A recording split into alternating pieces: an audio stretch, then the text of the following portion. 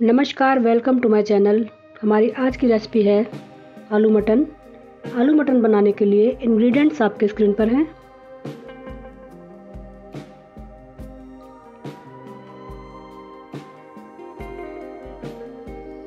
सबसे पहले हम एक कढ़ाई में या जिस बर्तन में भी आप बनाना चाहें, पतीले में कुकर में, सबसे पहले हम उसमें कुकिंग ऑयल डालेंगे। सरसों का तेल डाला मैंने यहाँ पर। तीन चार चम्मच।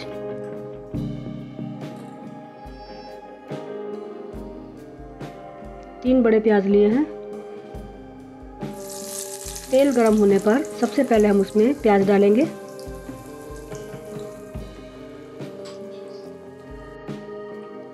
प्याज को हम ब्राउन कर लेंगे, उसके बाद हम इसमें मटन डालेंगे।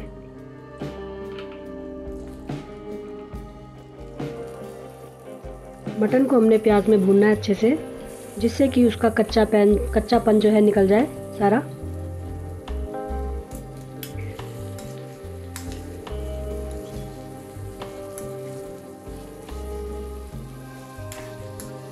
थोड़ा नमक डाल के भूने इसको, जिससे कि आपका मटन जल्दी से निकल जाए। तीन टमाटर लिए हैं। नमक डाला है मटन में। नमक डालने से पहले नमक आप डालेंगे तो इसके अंदर भी चला जाएगा अच्छे से पीस में और ये जल्दी से पक भी जाएगा। अदरक लहसुन का पेस्ट लिया है मैंने। तीन चार टेबल स्पून डालें आप इसमें।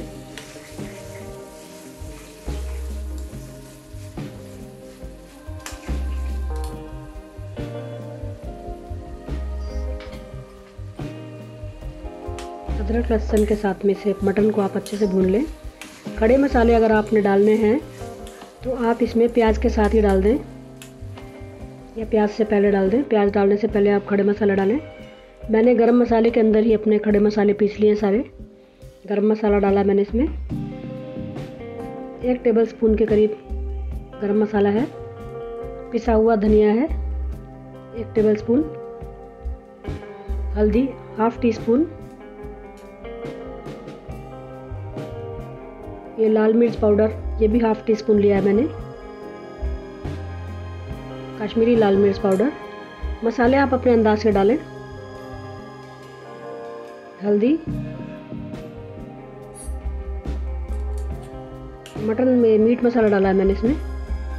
हल्दी हाफ़ टी स्पून डालनी है और मीट मसाला आपने इसमें एक टेबल स्पून के करीब डाल दें या एक टीस्पून डाल दें अपने स्वाद के अनुसार। टमाटर कटे हुए। तो खड़े मसाले मैंने गरम मसाले के अंदर पीस लिए थे, लौंग, दालचीनी, इलायची वगैरह। इसलिए मैंने खड़े मसाले जो हैं, वैसे नहीं डाले, पीस के डाले हैं। पानी डालकर आप थोड़ा से पका लें।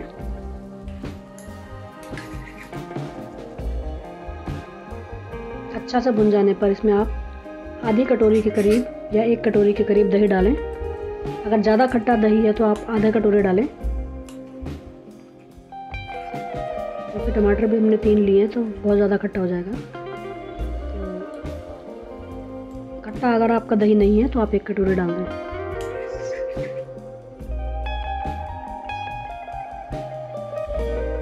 अच्छे से भून लें। जब आपका मटन आधा गल जाए, आधा पक जाए आपका ऐसे, तब आप इसमें आलू डाल दें। आलू के टुकड़े बहुत छोटे ना करें इसमें। जैसे हम सब्ज़ी में डालते हैं, वैसे आलू नहीं डालने हमने। अगर बहुत बड़ा साइज़ है तो चार टुकड़े कर लें। और मीडियम साइज़ है तो आप दो टुकड़े कर लें आलू के।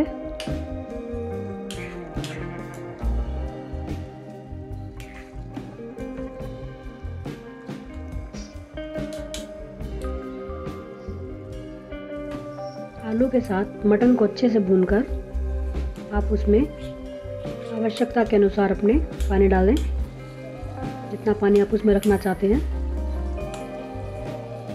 ये हमारा मसाला अलग हो गया तेल से।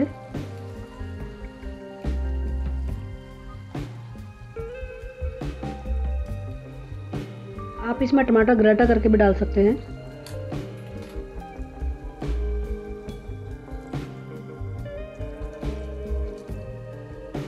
पानी डाल के इसे थोड़ी देर पकाएँ।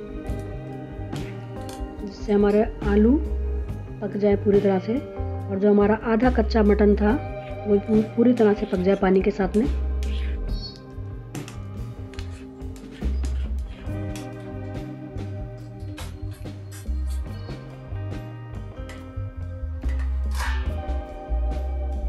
हमारा आलू मटन बिल्कुल बनकर इस वक्त तैयार हो गया है। चेक कर ले आलू को आप अपने, पहले।